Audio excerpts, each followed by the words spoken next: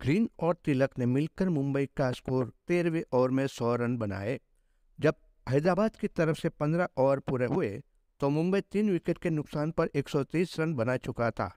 अच्छी स्थिति में पहुँच चुका था। ईशान और तिलक ने विकेट का पतन रोका, बल्कि मुंबई का स्कोर भी रोटेट किया। मुंबई अब 180 के आसपास स्कोर खड़ा कर सकता है।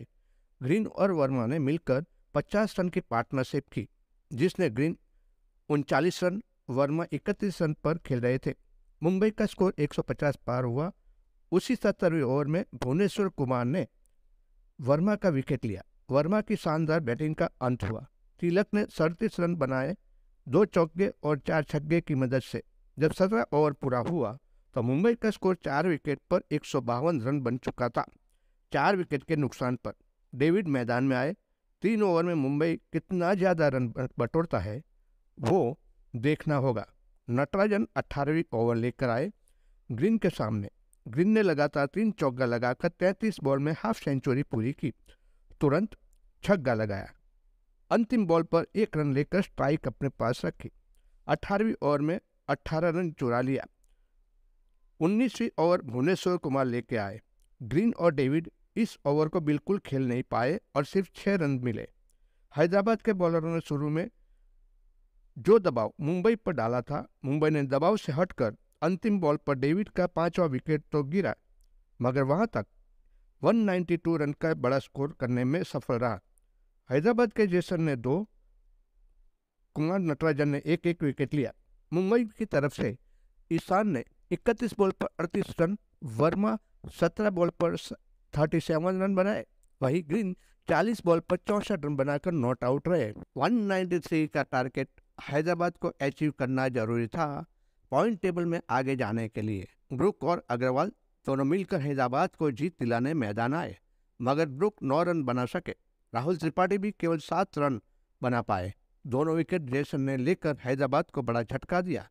कैप्टन मेकराम भी सत्रह बॉल पर बाईस रन बनाकर कैमरून ग्रीन का शिकार बने। पीयूष चावला जो बाकी थे, उसने अभिषेक शर्मा को एक रन पर ही पेवेलियन लौटने पर मजबूर किया। देखते ही देखते दस ओवर में चार विकेट पर छहत्तर रन बना पाया हैदराबाद। तेरहवीं ओवर में हैदराबाद ने सौ रन पूरे किए। अब जीत के लिए 93 रन चाहिए। मुंबई के बॉलर अच्छी बॉलिंग कर रहे हैं। ऐसी बॉलिंग रही तो मुंबई जीत जाएगा।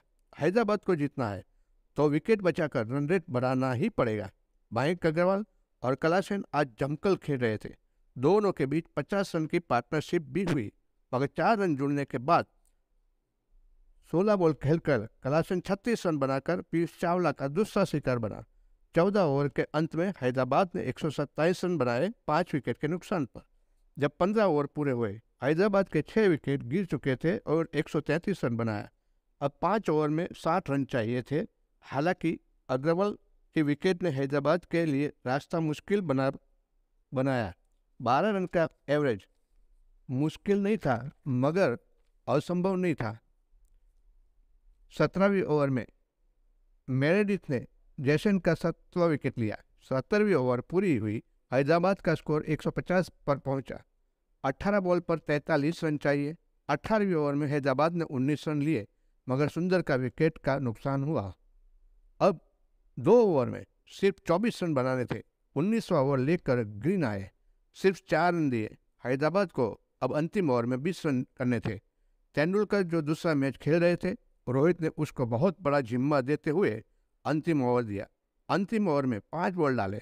उस ओवर में हैदराबाद ने दो विकेट गंवाए, जिसमें समत रन आउट हुए। नौवीं विकेट का पतन, पांचवा बॉल तेंदुलकर ने डाला।